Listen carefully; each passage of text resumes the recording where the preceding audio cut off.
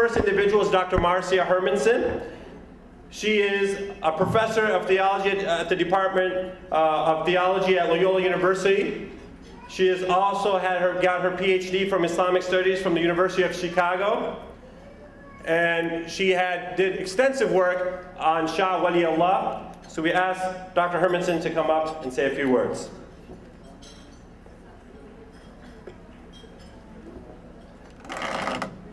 Assalamu alaikum.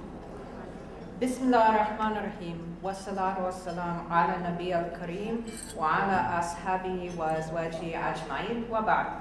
I've been asked to welcome you all here tonight on behalf of the Iqra team.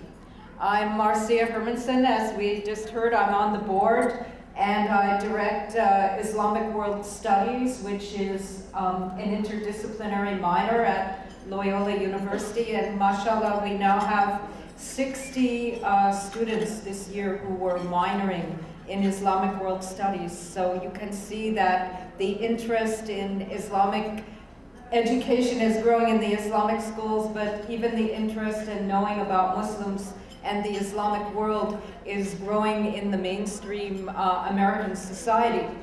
Tonight we're gathered here to support an organization, Iqra, and to celebrate tw its 27 years of service to the Muslim community, especially to the children and youth in Chicago, in the whole United States, and even globally.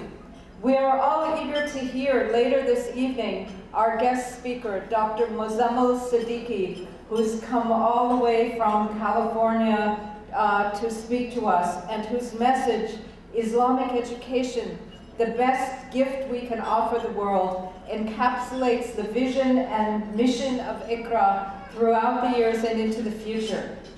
The command, as we just heard in the recitation of the Holy Quran, the command, Iqra, read, read the book of God and read the book of nature, inspires and guides Muslims and indicates the central role that education plays in our faith.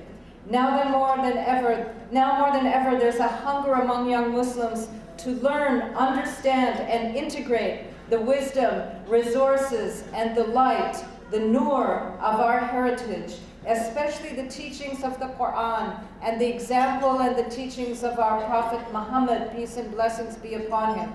So to be able to respond to the challenges of this age with confidence, clarity, and compassion. Yesterday, in this very banquet hall, I and some of the other guests present attended a ceremony honoring a young 13-year-old boy who'd recently completed his hifz, or memorization of the entire Quran. Both he and his father were born in the United States. Back home in India, we can hardly imagine that in the grandfathers, the great-grandfathers, or even in the early earlier generations that there would be such a phenomenon of young people becoming huffaz outside the confines of much narrower madrasa training. Today, the aspiration in the Muslim community is that a person should be Islamically educated and get a medical, a PhD, or another degree, and be well-rounded in a whole range of other ways, so as to contribute in multiple areas. We need to recognize that something remarkable and positive is changing in our community in terms of the depth and commitment to Islamic education and the pioneering role that institutions such as Iqra have played in making possible the dissemination of this gift to our community in an accessible format. In a related development since the 1990s, the growth of full-time Islamic schools in the United States has been phenomenal. And there is a growing need to provide these institutions with quality materials and to keep them up to date and appealing. Before Iqra, many of the books and materials that had been available to represent Islam for children were produced in earlier decades, and they still carried the stamp of the age of colonialism. They sometimes were apologetic adversarial. They just didn't fit in. Iqra was among the first, perhaps it was the first group to try and see, to see and to try and meet this need at the organizational level. This has not been an easy task, In some regards, we could say that Iqra needed to invent the wheel or forge the template so that others could follow. From its inauguration in the early 1980s, Iqra has had to initiate and organize the production and design of an entire new curriculum of Islamic education to meet the need of the growing number of teachers and the growing number of weekend and full-time schools, the homeschoolers, parents, children, and the general public.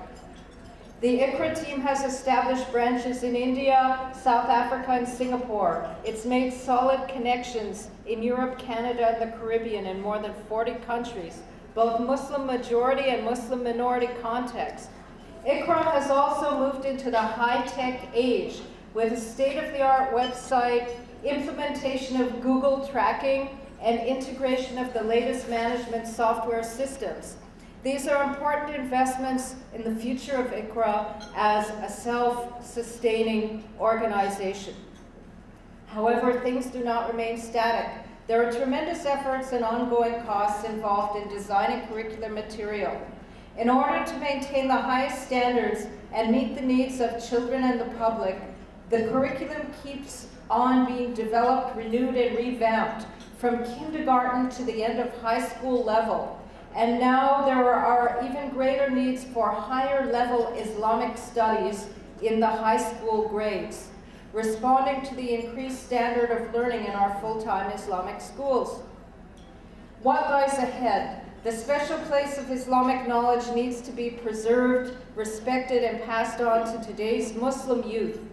In terms of our theme tonight as the best gift we can offer the world, Islamic education is a gift that keeps on giving. And after all, that is the meaning of Sadaqah Jariyah. It's time to revisit, retool, and re-implement the Iqra vision for the coming generation. It's also time to keep to reach out to new audiences of youth, both here and in the Muslim world. I hope I've alerted you to the urgency of the need and convinced you of the unique value of what we already have to build on, the Iqra curriculum. Iqra needs your generous support to continue to provide leadership in developing intellectual and educational resources for our community. We need to bring on board and train those who will bear the responsibility of producing the next generation of curricular materials the books that will inspire and inform our children and society as a whole, that will give them the confidence and tools to share the gift of this truth with others in their communities and the broader societies. If you believe that Islamic education is the best gift that Muslims can offer the world, please join us in supporting Iqra. As the Quran states in Surah Baqarah, which person will loan to Allah a beautiful loan that Allah will double for his credit and multiply many times? It is Allah who contracts or expands, and to him shall be your return. This gift is a deployment of your resources vis-a-vis for yourselves, for your children, for your ummah. Please support the work of Iqra in providing the highest standards of Islamic education today and in the future. Inshallah. Assalamu alaikum.